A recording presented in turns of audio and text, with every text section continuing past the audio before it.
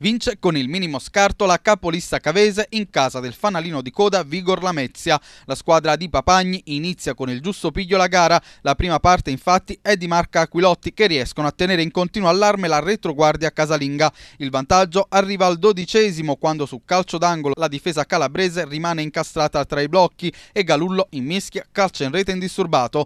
Ci provano i padroni di casa a reagire, ma sia il colpo di testa di Malerba al diciassettesimo che il tiro di Golia al ventitreesimo non portano gli esiti sperati. La Cavese, dal canto suo, continua l'offensiva sfruttando le incertezze del reparto arretrato del Vigor Lamezia. Al ventiquattresimo Puntoriere sbaglia però da solo di fronte a Marino, mentre Capitan De Rosa al trentesimo da punizione riesce ad innescare una rocambolesca azione in aria, con D'Ancora che però viene chiuso in extremis da Marino e Cianci.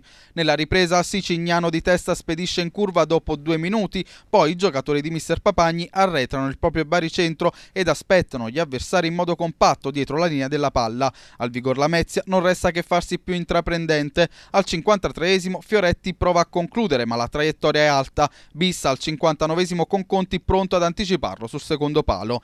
I metelliani non ci stanno a mettere a rischio il vantaggio e ribaltano nuovamente lo schema di gioco precipitandosi in attacco. Proia al 69esimo e Donnarumma al 76 47 si presentano di nuovo al cospetto di Marino, ma stavolta il portiere calabrese non si fa sorprendere. Negli ultimi minuti di gioco il Lamezia tenta invano di riequilibrare il risultato con un forcing più pressante dei padroni di casa, ma nonostante qualche difficoltà evidente la Cavese resiste e conserva il vantaggio fino allo scadere. Così a cinque giornate dalla conclusione la Cavese conserva il primato e l'obiettivo campionato resta ampiamente nel mirino della formazione di Papagni.